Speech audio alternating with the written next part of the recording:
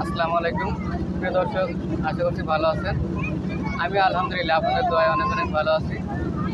বর্ষার শুরুতে আজ প্রথম নৌকা ভ্রমণে যাচ্ছি সাজাদপুরের উদ্দেশ্যে। আর এখানে আমরা যাচ্ছি এটা কোলে আছে আমার ভাস্তি। আর উপরে আছে অনেকে আমাদের ফ্যামিলির লোকজনই সবাই যাচ্ছে এখানে। তো যাই হোক দর্শক যাবার পথে ইনশাল্লাহ যা যা আমাদের চোখে পরে আপনাদেরকে দেখাবো।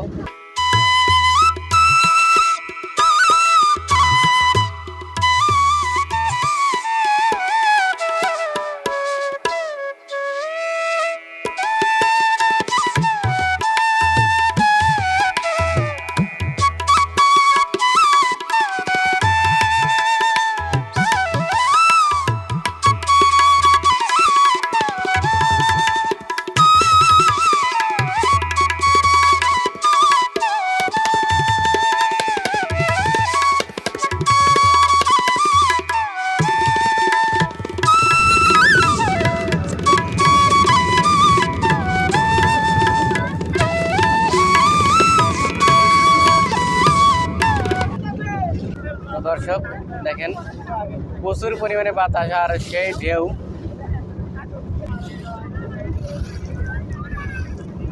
প্রিয় দর্শক, দেখেন বিশাল বিশাল ঢেউ।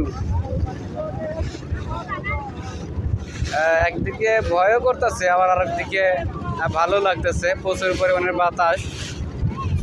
যা আসলে আপনাদেরকে আসলে বোঝাতে পারতেছি না যে আসলে কতটা বাতাস আমার গায়ে এসে রাখতেছে দেখেন দর্শক ঢেউগুলো আসলে অতটা বোঝা যাচ্ছে না যে কত বিশাল বিশাল ঢেউ যাচ্ছে।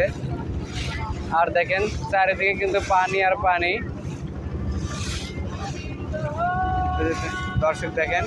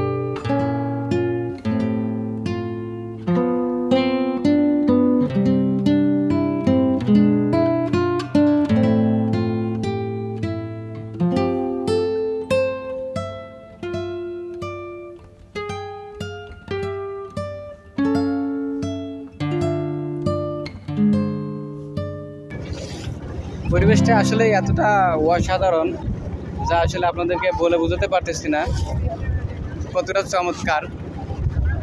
যদি বর্ষা মৌসুম আসে, তো আপনারা বর্ষার মৌসুমে অবশ্যই একবার চেষ্টা করবেন সমুদ্র সৈকত অথবা যে ফাঁকা অঞ্চলগুলো রয়েছে বর্ষার দিয়ে পানি দিয়ে ভরে গেছে, সেই সব অঞ্চলে একটু ঘোরাফেরা করার।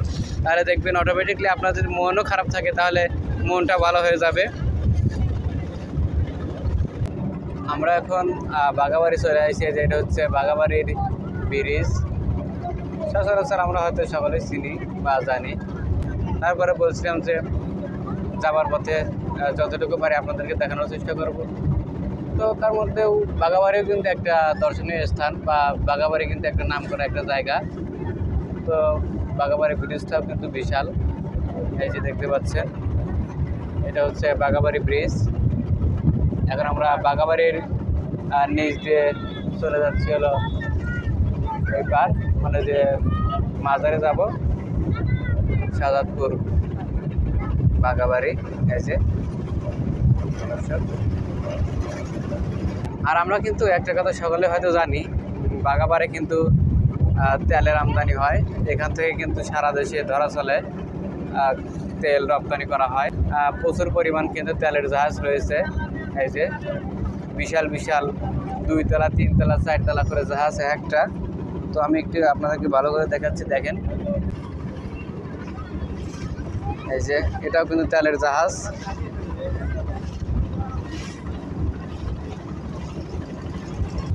আর শুধু তেয়ালি নয়, এখানে কিন্তু দুধের যে একটা মিল্ক রয়েছে সেটা কিন্তু বাগাবাড়ি কিন্তু বিখ্যাত। আর এই পাশে যে ফ্যাক্টরিটা দেখতে পাচ্ছেন। এটা হচ্ছে দেশবন্ধু সিমেন্ট কারখানার এখানে। সিমেন্ট এখানে তৈরি করা হয়, দেশবন্ধু সিমেন্ট।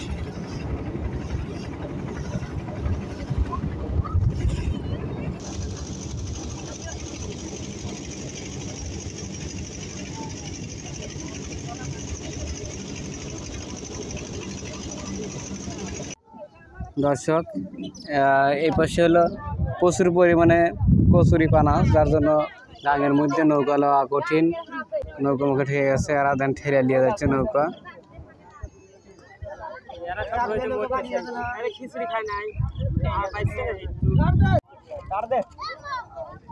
দর্শক, দেখেন এক নৌকা কত মানুষ হচ্ছে মনে হয় ডুবা ডুবা ভাব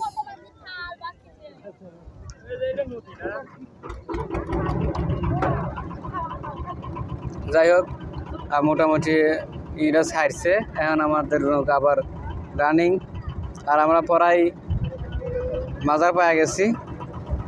তো দর্শক, অনেক অপেক্ষার পরে আমরা অলরেডি চলে আসছি শাহজাদপুর শাহ মকদম শাহদৌলিয়া ইয়ামিন রহমতুল্লাহ আলায়ের মাজার শরীফে। দেখতে পাচ্ছেন যে এটা হচ্ছে মাজার শরীফের যে গম্বুজটা রয়েছিল, বিশাল যে গম্বুজটা, এটাই হচ্ছে শাহজাদপুর শাহ মকদুম শাহ দৌলিয়া আমিন রহমতুল্লাহ আলাই এর মাজার। এটাই হচ্ছে তার গম্বুজ। রোদের কারণে খুব একটা ভালো দেখা যাচ্ছে না দর্শক।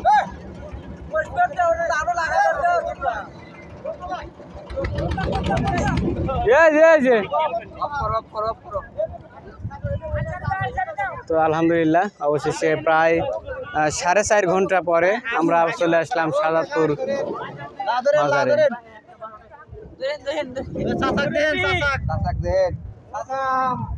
তো এই যে দেখেন আমরা পেয়ে গেলাম অলরেডি এখন চলে আসলাম। শাহজাদপুরের যে আমাদের উদ্দেশ্য ছিল সেখানে ইনশাল্লাহ আমরা এসে পৌঁছে গেলাম। দর্শক এটা হচ্ছে বাইরের বিভিন্ন প্লাস্টিকের দোকান আছে সেগুলো এখানে তো আমি এর আগেও আপনাদেরকে ভিডিওতে সব কিছু দেখাইছি তো যার জন্য আমি মাজারের বেশি কিছু দেখাবো না জাস্ট এখানে আসছি তার জন্য অল্প কিছু দেখাই দিব। আপনারা চাইলে আমার আগের ভিডিও দেখতে পারেন ওখানে এ টু জেড সম্পূর্ণ দেওয়া আছে। ঠিক আছে কিনছো দেখি? কি কিনছো তা? ঘর। ঘর আর কি? কি? তো কিনে দেয় না তোর আব্বু